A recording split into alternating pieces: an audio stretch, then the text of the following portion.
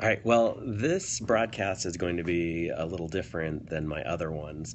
I'm going to practice a five minute Ignite presentation, and that's where I get to display exactly 20 slides set to automatically advance, whether I'm ready or not, every 15 seconds. And this one is going to be about, of all things, domain names. Uh, so uh, I'll, I'll take questions at the end, but uh, let's get started. Uh, it is kind of brave to do this with uh, with 15 seconds, whether I go or not. Okay, so here I go. I'm not going to be clicking. I've set my slides to automatically advance. So I would like to spend five minutes talking about something you use every day, and that's domain names. So let's dig into domains. Domains are part of every URL that you enter, and uh, we use a lot of different URLs in one day. The very first domain name I ever registered was planetfifth.com. and there's a picture of me in 1998, uh, my first year of teaching. It led to my class website uh, called Planet Fifth. And .com is by far the most popular uh, top level domain name. Uh, that's the green uh, chart here. Then uh, .tk is next and .net, but everybody wants a .com name. Even Google, they weren't able to register the proper spelling of Google. They they registered a typo of Google, and uh, that's what we have today because uh, URL squatters go out there, domain name squatters go out there and they uh, buy up tons of domain names in hopes that maybe they sell one or two for a lot of money. Uh, there's this article about this guy who uh, buys an average of 300 domain names a, uh, a month and earns like half a million dollars a month on that.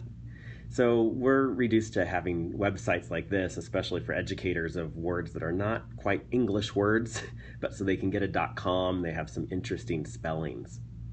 I looked it up, and if you remember, Remind 101 is this texting service, and they became Remind, and they bought Remind. I, this is actually pretty reasonable for $38,000 for that domain name. Now, I spent $10 on plustony.com. Uh, a few years ago when I wanted it to be easier to get to my Google Plus page. So I just bought plustony.com and redirected it to um, my Google Plus. But dot .coms aren't the only thing that's out there. There's .us for country code. There's even .me for Montenegro, which used to be part of Yugoslavia. Um, there's Italy. There's the state of Palestine and, and others. Uh, so, so I bought TonyV.me. I like it because it rhymes, and I use it for my URL shortener. Then, uh, so it, so it's not a, a .com, but some people have some really interesting .coms. I really respect domain names that, that do exactly what they say, like down for everyone or just me.com. You type in a web address to see if it's just you or down for everyone, like the .com says. Or if you're wondering how secure your password is, there's how secure is my password.net. Uh, type in a, a theoretical password and see how long it would take to crack.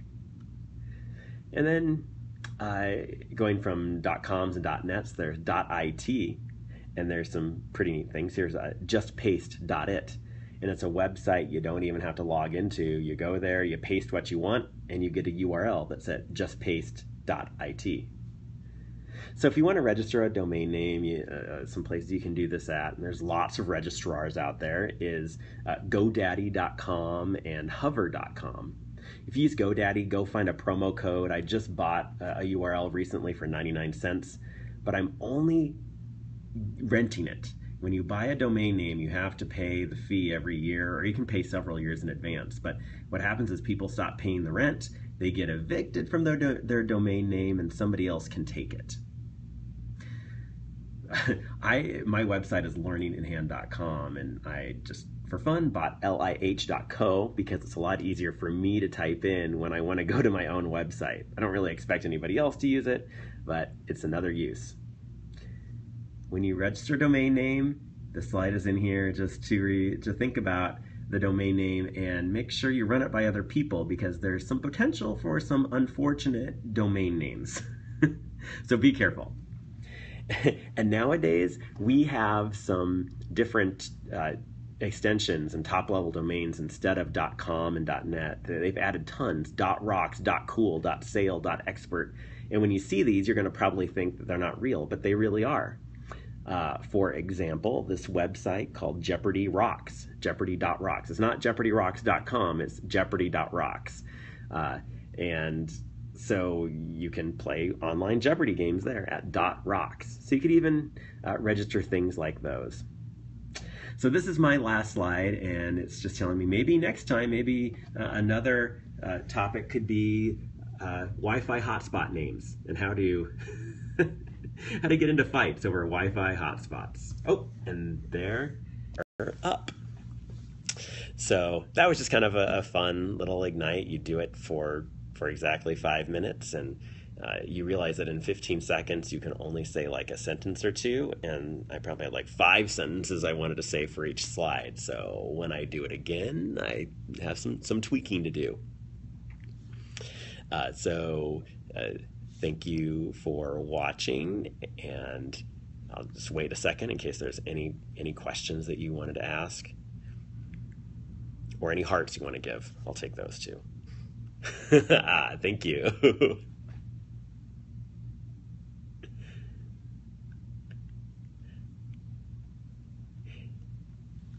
yeah, Megan, uh, definitely love the. Th- think about these. Think about what you could register. What domains, uh, you know, maybe even in the future, especially with with using a GoDaddy promo code for getting it for ninety nine cents for the first year. Um, you can let it go after the first year if you never think you'll use it. But I've registered. I probably have twenty domain names under my name, and that's just because uh, I kind of proactively get some and, and I let them expire later. Yeah, I do, Jenny. I miss everybody at Slide to Learn. So uh, keep keep sliding and keep learning enough for me. All right. Well, it is past my bedtime. I'm here in Tucson for Tech Camp, and oh, sure. I, I thank you for the positive comments. Uh, I it, it is like I said past my bedtime, so I will see you later.